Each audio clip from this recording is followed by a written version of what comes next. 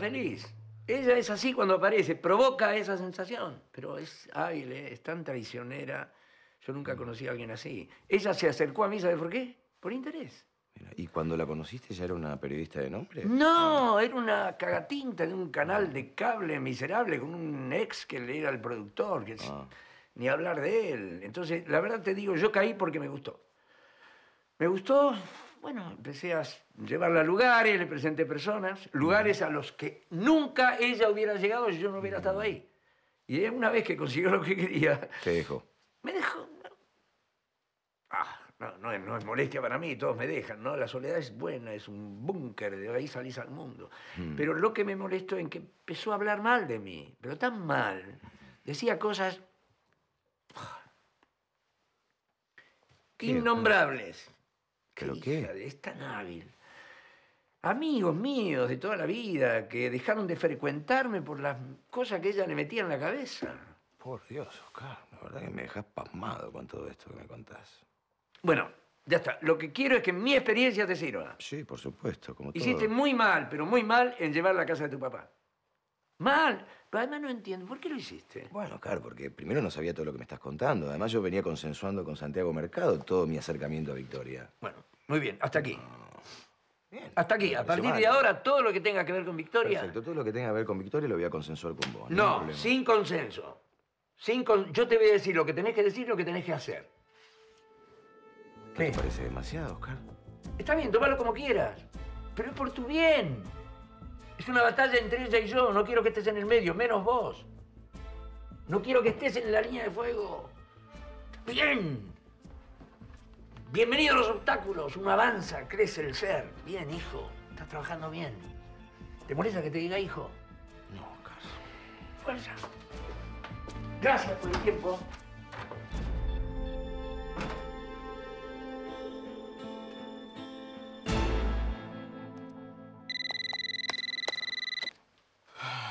Sí. Octavio, te está llamando Mariela para pasarte su nuevo celular. Decime. Ajá, pará. Sí, siete, siete. Ah, listo. Gracias.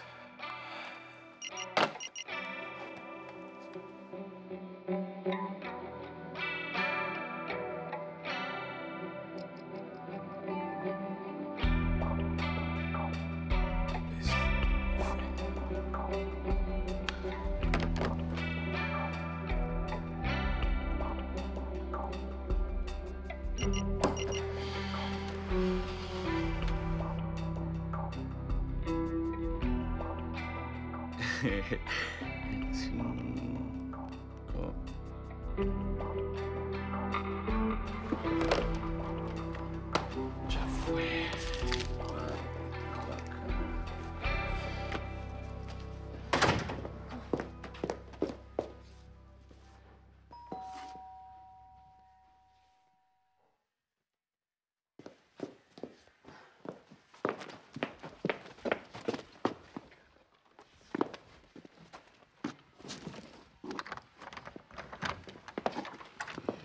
Greta. ¿Tenés un minuto? No, me estaba yendo. Ok, la hago corta. Sí. Voy a renunciar a la defensa de David. Ajá. Mira, nosotras no somos ni siquiera compañeras de trabajo, así que esas noticias a mí no me incumben. Yo tengo un juicio por delante contra quien sea. Mariana, tengo miedo. Sos la única que me puede escuchar en este momento. Te lo pido, por favor, aconsejame. No pienso en las próximas elecciones, sino en las próximas generaciones. Tengo una hija y otro en camino. Hay que hacer lo que la gente necesita. Si no hay un río, ¿para qué construir un puente? Las obras públicas deben ser para mejorar la calidad de vida de la gente y no para abultar los bolsillos de la corrupción. Andrés Bilbao, presidente. Golpear a una mujer es un extremo, pero si está embarazada es intolerable. No entiendo de dónde sacaste ese caso. ¿Cómo, cómo no te enteraste? importa ahora. No importa. No es por desconfianza. No te puedo dar el nombre, es para protegerla. Mm. Vos sabías que David iba a reincidir. Ya lo ¿no es sé, cierto? Mariana. Lo sé. Me equivoqué, por eso estoy acá. Lo sé. Pero tengo miedo, no sé qué me pueda pasar si yo le digo a Oscar la verdad. No sé. Vos sabés, en ninguna puta escuela te enseñan a juzgar a tu cliente. En ninguna. Y mucho menos ese cliente es el hijo de tu jefe, y mucho menos si tu jefe es el Nevares Sosa. Mucho menos. Tranquila, Greta. A mí me parece que vos no estás pensando en todas las alternativas. No te entiendo. A ver. En este momento, ¿quién es la persona que más quiere ver detenido a David? Vos. Andrés. Oscar.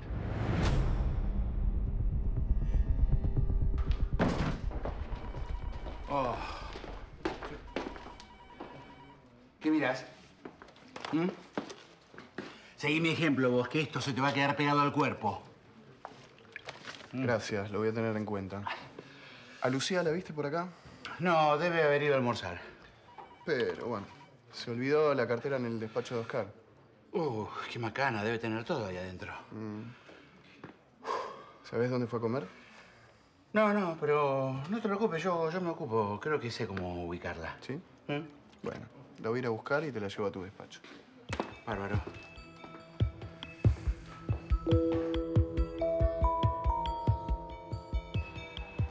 Ya está confirmado el pasaje para España. ¿eh? Ok. ¿Y lo que te pedí? Lo que me pedís, lo tenés. Bueno, es tu tarea, ¿no? Ah, anótate lo fundamental. Averiguar todo lo que sepamos sobre Atrum en España. Ya te estoy preparando otra carpeta. Ok, capo. Bilbao ganó todos los juicios de Atrum en el país. Ujú.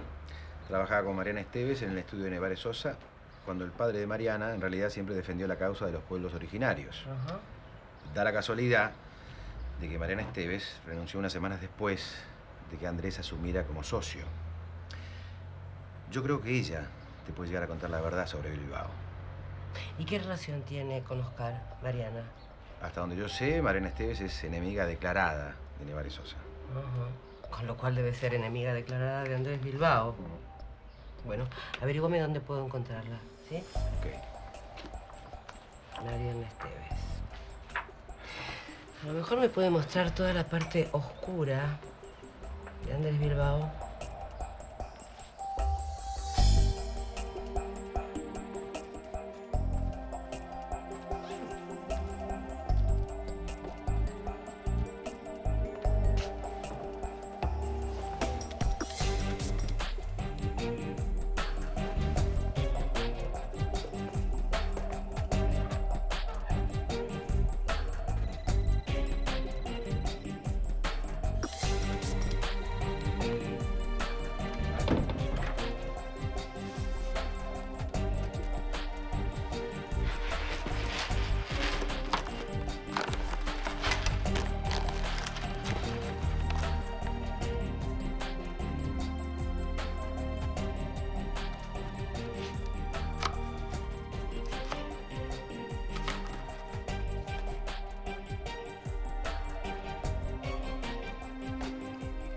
Para la mujer de mi vida.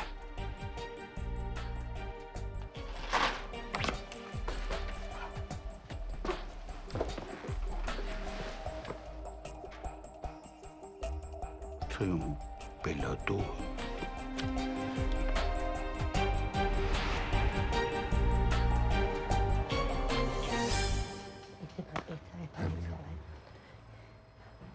Permiso. ¿Sí?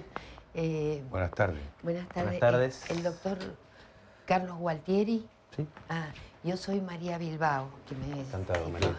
A- Alfredo Bilbao. Sí. Alfredo, ¿cómo anda? Eh, somos los padres del doctor Andrés Bilbao y sí, amigos sí. de Mariana Esteves también. Sí, sí. Mm, Se estaba esperando. Ah. Pasen, por favor, siéntense. gracias, Gracias. doctor. Pónganse cómodos. Bueno, venimos a declarar.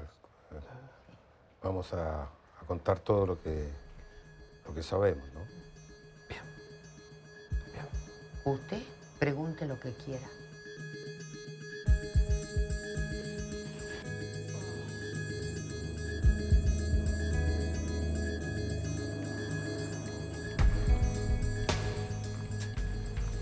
Octavio, lamento desilusionarte.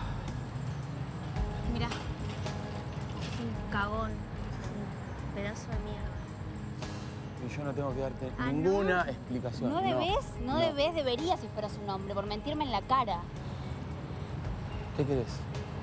¿De qué hablas? A ver, yo entiendo que estás desesperado por tu adicción, pero todo tiene un límite, ¿sabes? Todo- ¿De qué hablas, De Erika? dejarme, de maltratarme, de hacerme sentir mal, de, de- de engañarme con esa faloperita de mierda. Cállate la boca. Cállate la boca. No, no, Sí, no, conmigo no, no quiero, no quiero, no voy a superar no voy a soportar que vuelvas a caer en ese infierno. ¿De qué estás hablando? A ver, ¿de qué estás hablando? De tu adicción. De que hablé con tu mamá y tu papá. Y que juntos vamos a trabajar para sacarte. Sí. Uh, a ver, espera que calculo el tiempo, lo había anotado. A ver, dos horas y cincuenta y cuatro minutos. Casi tres horas. Fue difícil, ¿no? Sí. No fue fácil, es cierto.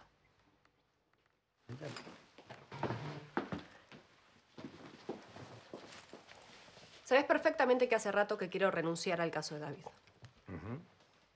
Y si no lo hice fue porque siempre me detuvo este momento. Bueno, me preparo. ¿Todo en orden? Soy todo oídos. Llegó el momento. ¿Qué pasa? ¿Quieres un caramelo? No soy goloso, gracias. Muy bien. Voy a ser breve, no te preocupes. Bueno. La chica que vive en mi departamento, Gigi, está embarazada. Ya. ¿Y qué tiene que ver eso?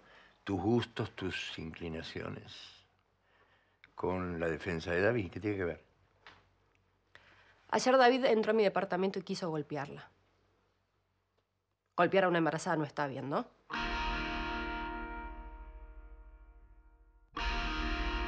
Y mucho menos si es la madre de su futuro hijo. O tu futuro nieto.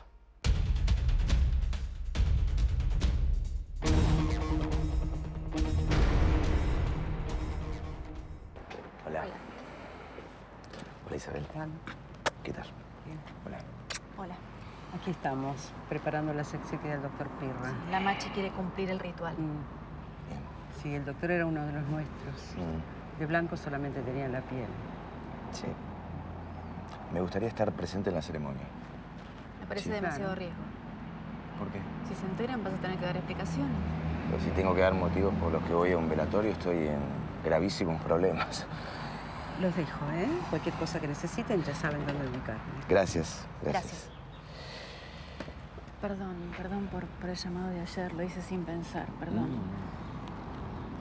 ¿Por qué me llamaste?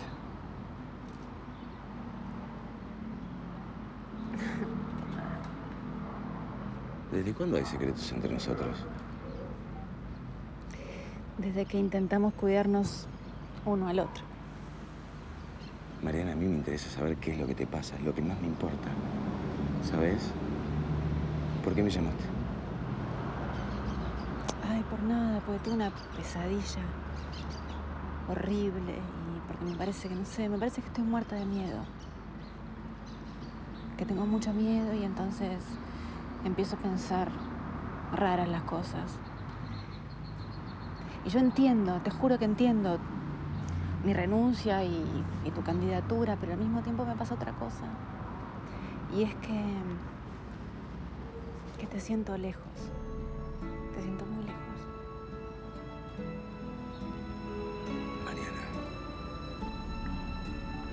Yo jamás te sentí tan cerca como hasta ahora. Regálame tu risa. Sí. Enséñame a soñar con solo una caricia.